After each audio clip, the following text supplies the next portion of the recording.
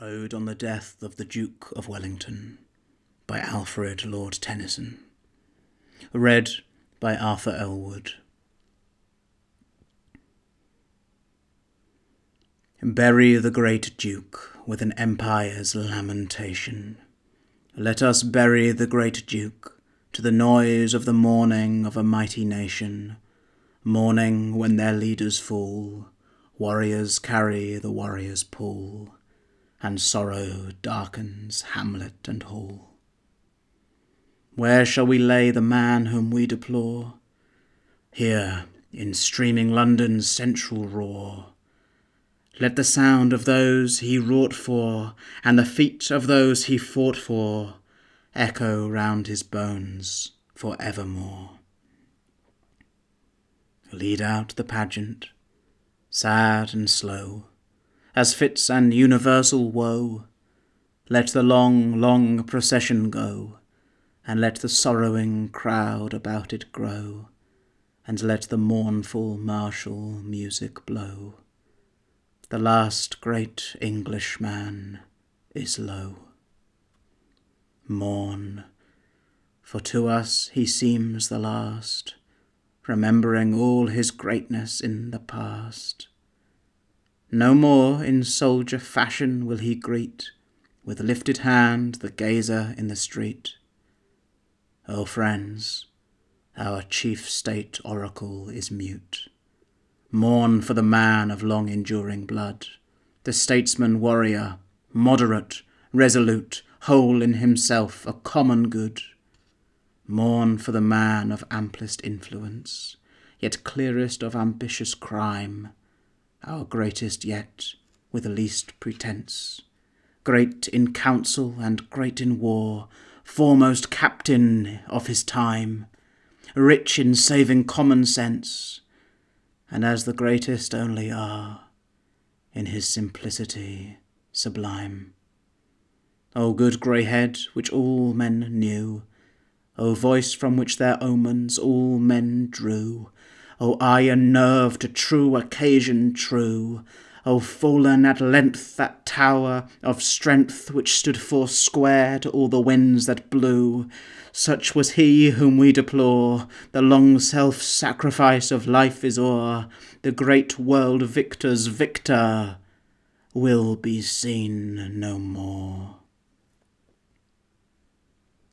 All is over and done. Render thanks to the giver, England, for thy son. Let the bell be tolled.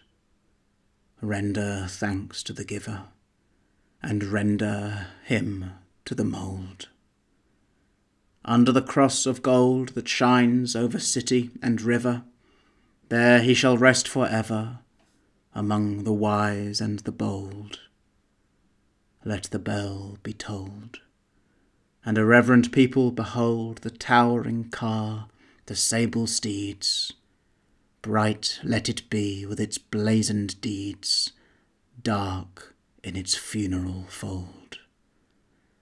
Let the bell be tolled, and a deeper knell in the heart be knolled, and the sound of the sorrowing anthem rolled through the dome of the golden cross and the volleying cannon thunder his loss. He knew their voices of old, for many a time in many a clime his captain's ear has heard them boom, bellowing victory, bellowing doom. When he with those deep voices wrought, guarding realms and kings from shame, with those deep voices our dead captain taught the tyrant, and asserts his claim in that dread sound to the great name which he has worn so pure of blame, in praise and in dispraise the same, a man of well attempered frame. O civic muse, to such a name, to such a name for ages long, to such a name preserve a broad approach of fame, and ever echoing avenues of song. Who is he that cometh, like an honoured guest, with banner and with music, with soldier and with priest, with a nation weeping and breaking on my rest. Mighty seaman, this is he, was great by land as thou by sea. Thine island loves thee well, thou famous man, the greatest sailor since our world began. Now to the roll of muffled drums, to thee the greatest soldier comes. For this is he, who was great by land as thou by sea. His foes were thine, he kept us free. Oh, give him welcome. This is he, worthy of our gorgeous rites, and worthy to be laid by thee. For this is England's greatest son, he that gained a hundred fights, nor ever lost an English gun. This is he that far away, against the myriads of Assaye, clashed with his fiery few and won, and underneath another sun, warring on a later day, round affrighted Lisbon drew the treble works, the vast designs of his laboured rampart lines, when he greatly stood at bay, whence he issued forth anew, and ever great and greater grew, beating from the wasted vines back to France her banded swarms, back to France with countless blows, till o'er the hills her eagles flew beyond the Pyrenean pines, followed up in valley and glen, with blare of bugle, clamour of men, roll of cannon, and clash of arms, and England pouring on her foes. Such a war had such a close. Again their ravening eagle rose in anger, wheeled on Europe shadowing wings, and barking for the thrones of kings, till one that sought but duty's iron crown on that loud Sabbath shook the spoiler down, a day of onsets of despair. Dashed on every rocky square, their surging charges foamed themselves away. Last, the Prussian trumpet blew through the long tormented air. Heaven flashed a sudden jubilant ray, and down we swept, and charged, and overthrew. So great a soldier taught us there what long enduring hearts could do in that world's earthquake, Waterloo.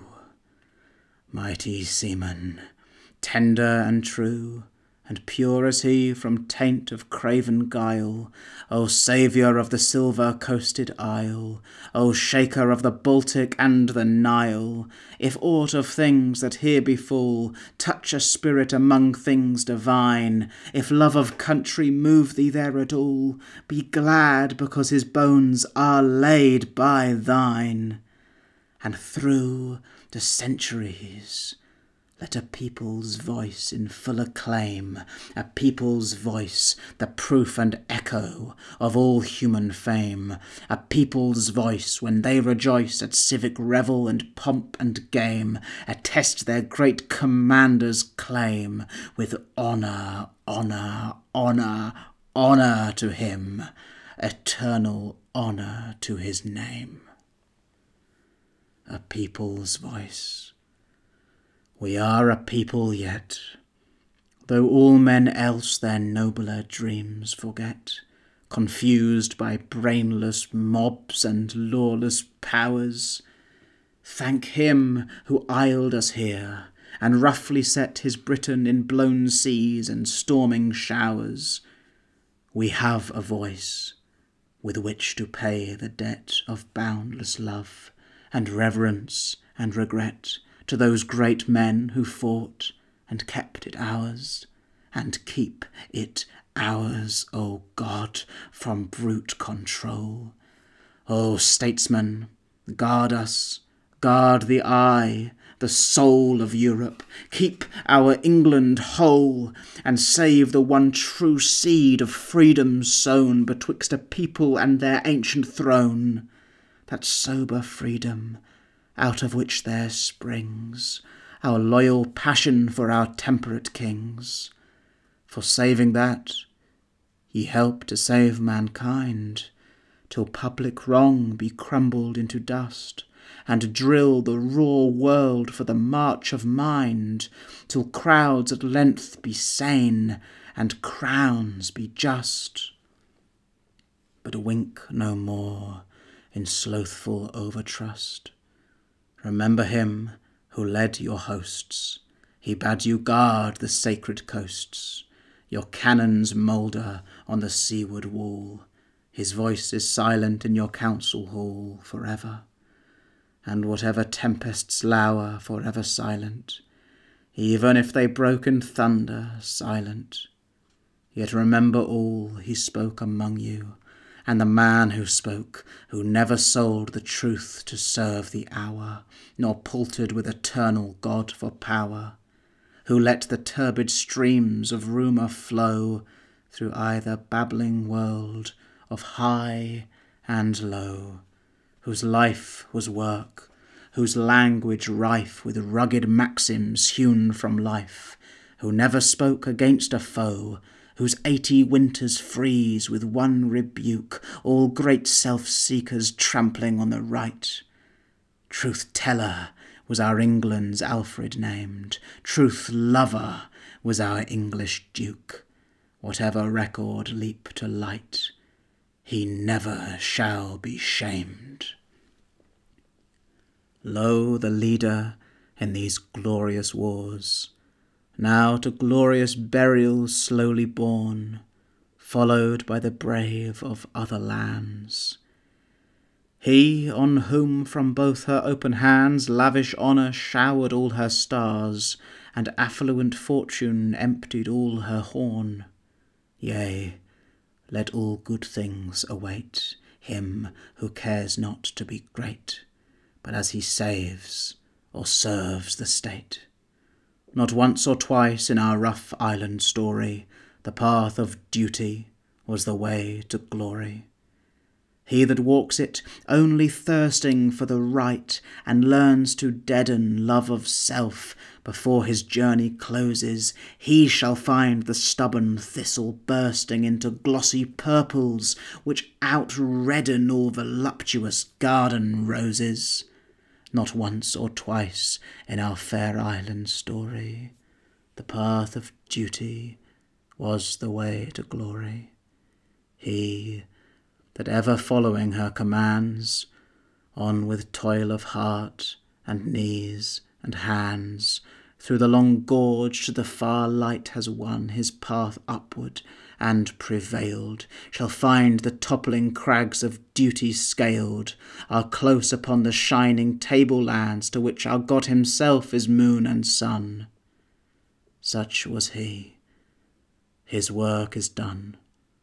But while the races of mankind endure, let his great example stand colossal, seen of every land, and keep the soldier firm, the statesman pure, till in all lands and through all human story the path of duty be the way to glory.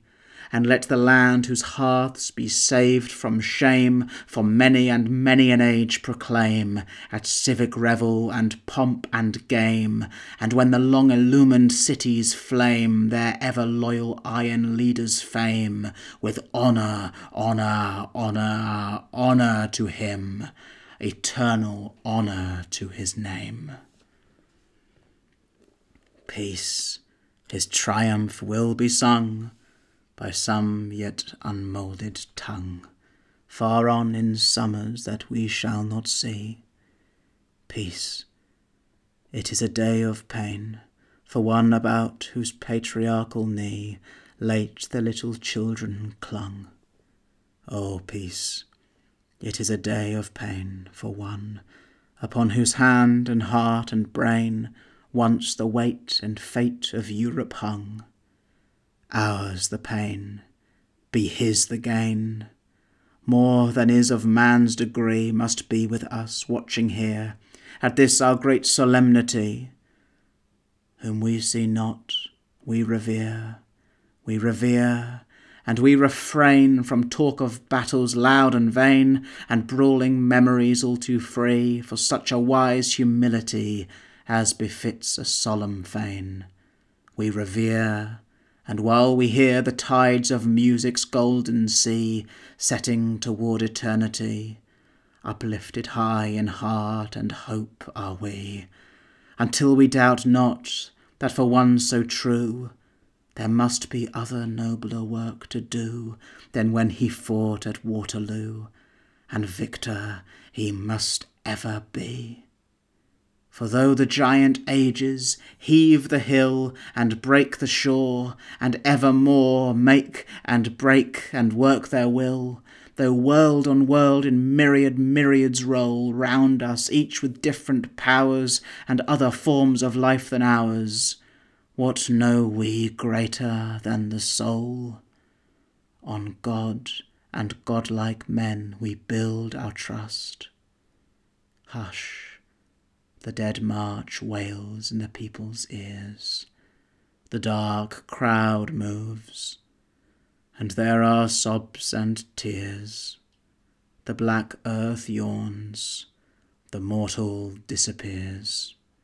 Ashes to ashes, dust to dust.